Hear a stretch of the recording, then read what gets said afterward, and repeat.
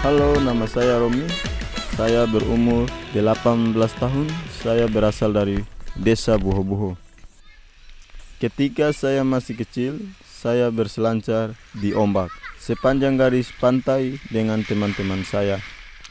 Kami membuat papan selancar yaitu dari bahan kayu yang berasal dari hutan. Sekarang saya berselancar di ombak besar. Dulu pantai kami sedikit lebih besar. Ada banyak rumah, tetapi setiap tahun permukaan laut naik dan terus naik sampai di desa. Laut menghancurkan banyak rumah. Without surf tourism, there are already issues and challenges. And then, if it's going to be developed and there isn't yet an infrastructure to, to cope with that, water's going to become more polluted, rubbish is going to increase.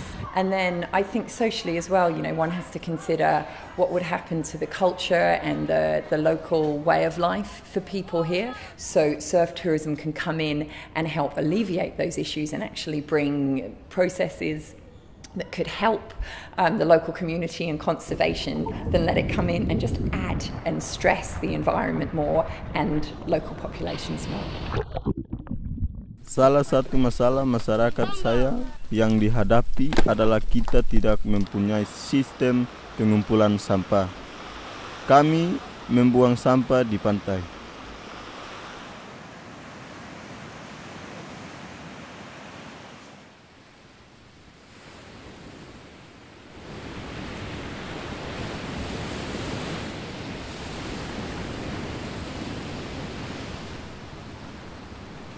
Nama saya Hersel, tetapi orang-orang memanggil saya Esra. Saya berasal dari Rorasa. Ketika ada ikan, saya pergi ke laut dengan keluarga saya. Saya senang berada di laut karena orang-orang yang turun ke laut untuk menangkap ikan. Saya juga suka melihat apabila orang-orang yang melihat ikan dari jauh. Saya juga sangat suka apabila kami mendapat uang yang banyak. Kendala penangkapan ikan yang berlebihan dan pengembangan. Tapi lebih daripada itu, kami mempunyai waktu yang sulit dalam menangkap ikan. Kadang-kadang kami kembali tanpa tangkapan ikan yang besar atau tanpa ikan sama sekali.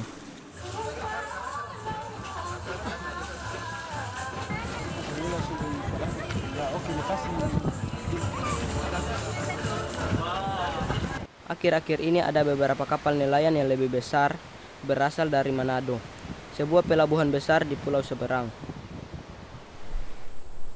Developing surf-protected areas in Morotai will benefit the people, the environment in many ways. It will enable them to maintain their culture, their way of life, an understanding and relationship of the reality on the ground and the environment on the ground, support from the local government on a policy level and then eventually a regional and national level, and then the funds, expertise, and know how um, to pull that all together.